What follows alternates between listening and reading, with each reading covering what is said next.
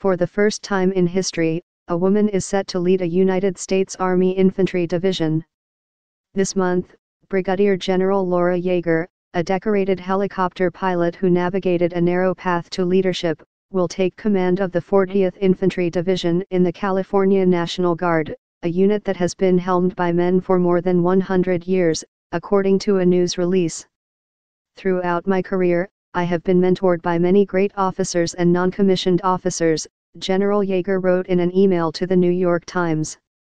They never once treated me differently because I was female, which is exactly how it should be and how I wanted to be treated. On June 29, in a ceremony at Joint Forces Training Base in Los Alamitos, California, General Yeager will take command of the division from Major General Mark Malanka, who is retiring. The military unit was formed in September 1917 as the United States entered World War I, and has since deployed soldiers in World War II, the Korean War, Kosovo, Afghanistan, and Iraq. My most important responsibility, she said of her new position, is ensuring my soldiers are ready to fight and win our nation's wars while also being prepared to serve the citizens of California during natural disasters.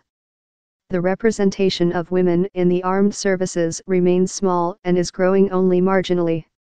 In 2017, women made up 16% of active duty military personnel across the armed services.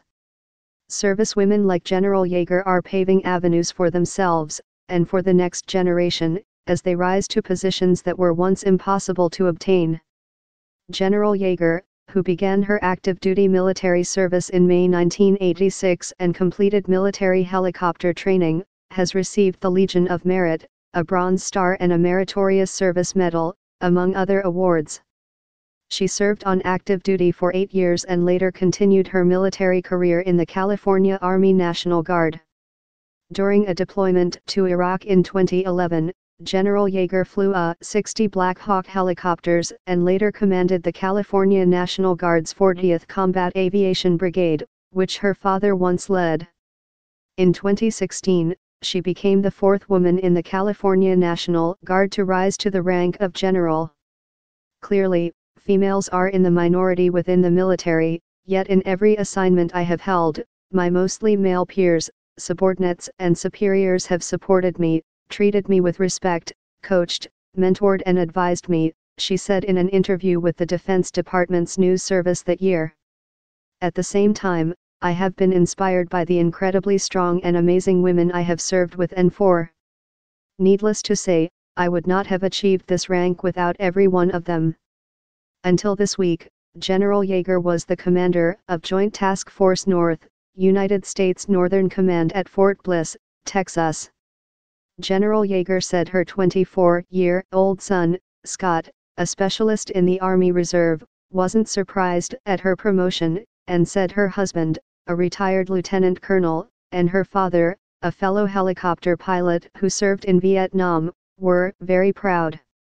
Since they have all served in the Army, they know it is a very narrow path to make it to this point, she added.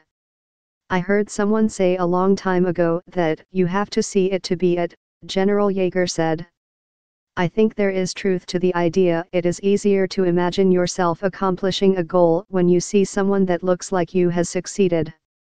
However, she continued, I encourage everyone who works for me, whether they are male or female, to show up on time every day, ready to do the mission and preparing themselves for the next challenge.